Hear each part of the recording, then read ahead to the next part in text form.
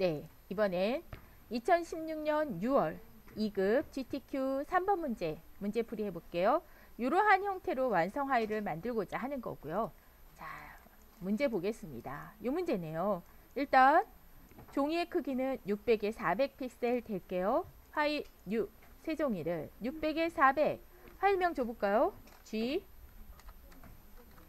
수험 번호 다시 여러분 성함 다시 3번. 오케이. 자 새 종이가 준비가 됐고요.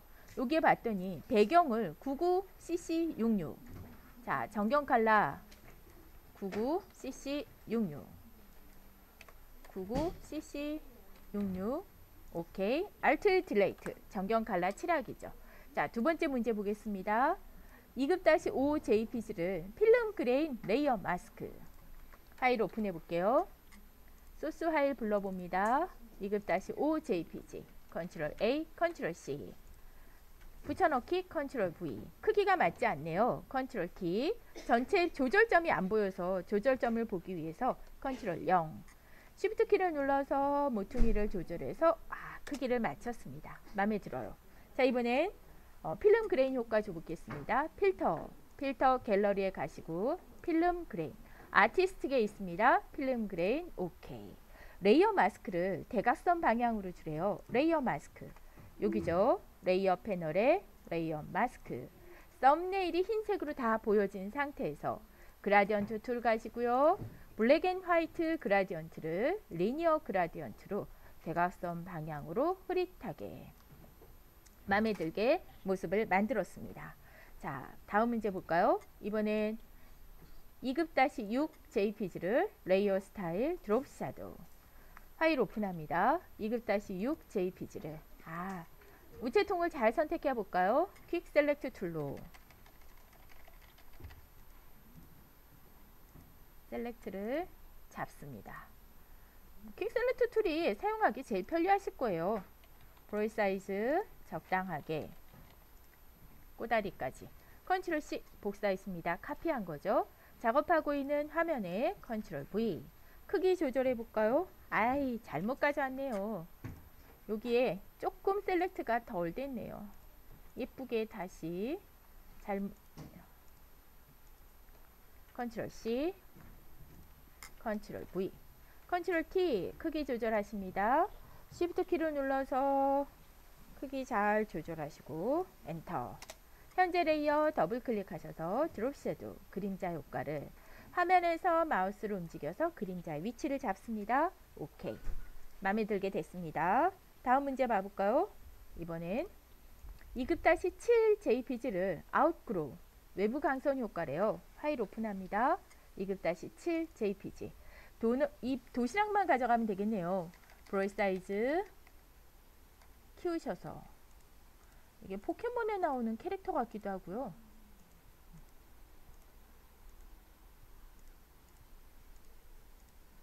자, 도시락을 select를 잡아봅니다.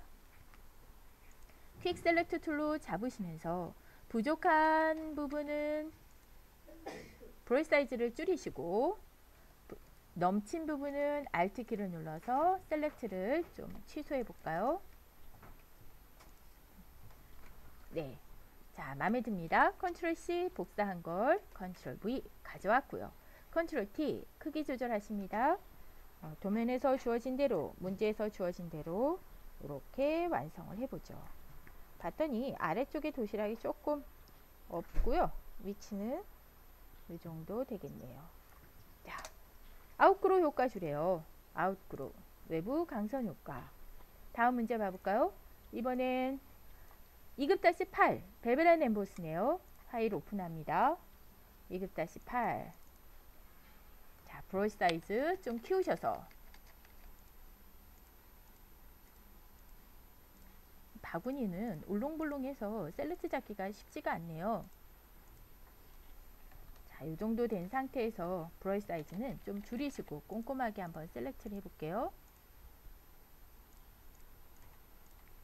셀렉트가 기본적으로 브러쉬를 보시게 되면 옵션이 플러스로 되어 있기 때문에 자동으로 이렇게 셀렉트가 추가되고 있는 형태가 되고 있어요.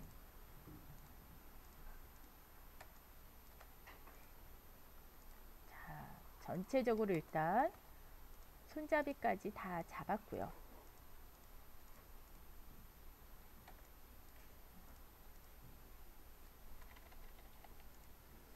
자, 셀렉트를 이렇게 추가를 한 상태에서 여기 손잡이 안쪽 부분은 셀렉트를 Alt 키를 눌러서 제외시켜 주십시오.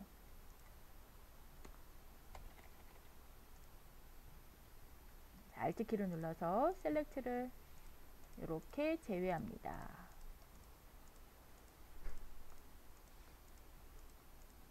아우 은근히 클릭을 많이 했어요.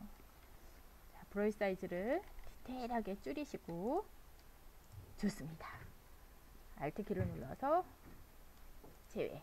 컨트롤 C 복사했습니다. 작업 화면에 컨트롤 V.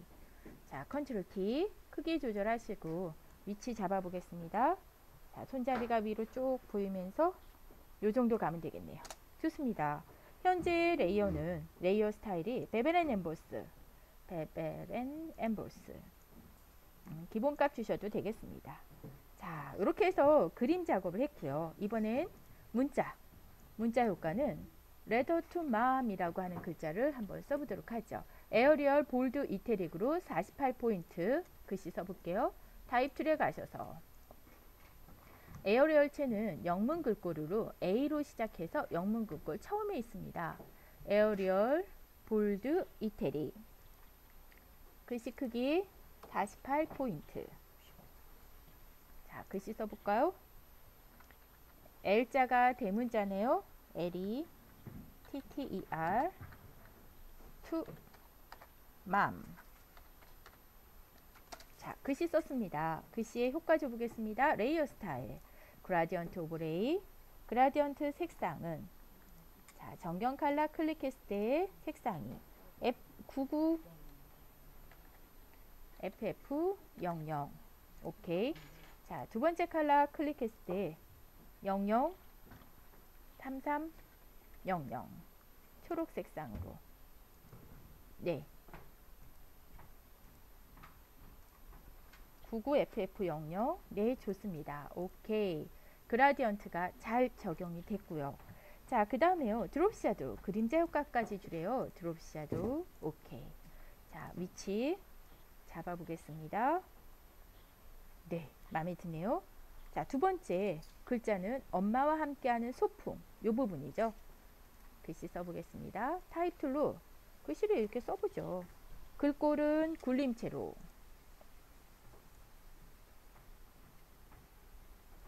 굴림. 글씨 크기 22포인트. 색상은 CC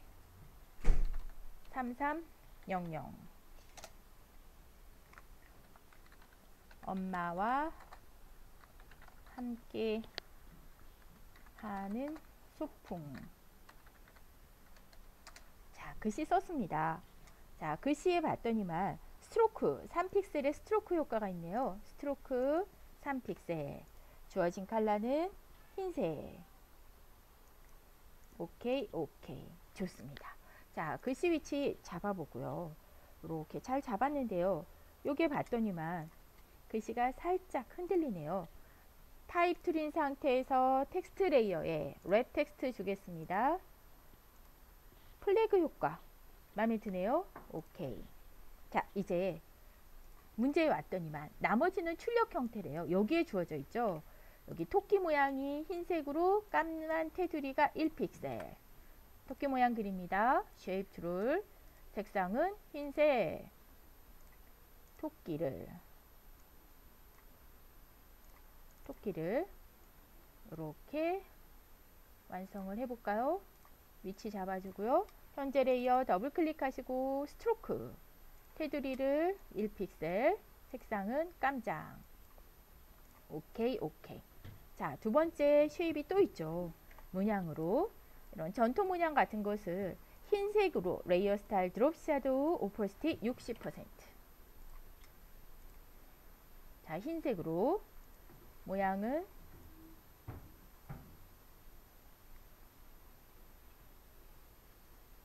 모양이 이 모양이네요. 자, 이 모양 찾으셔서 여기다가 이렇게 그려봅니다. 흰색으로 drop shadow 그림자 효과 오케이 opacity. 투명도 60% 그런데 위치를 봤더니요. 엄마와 함께하는 소풍이랑 도시락보단 밑에 있고 바구니보단 위에 있네요. 위치 한번 잡아볼까요? 엄마와 함께하는 소풍 위로 올라가시고 얘가 자 layer 패널에서 한번 정리해서 보여드릴게요. 자 얘네들을 전체를 이렇게 좀 접어서 보겠습니다. 바구니보다는 아니죠. shape이 바구니보단 위에 있고 도시락보다는 아래 도시락이 더 위로 올라가시면 자 layer 모양을 살펴보시면 어, 원하는 형태가 됐죠? 위치는 도시락이 약간 왼쪽으로 더 갔네요.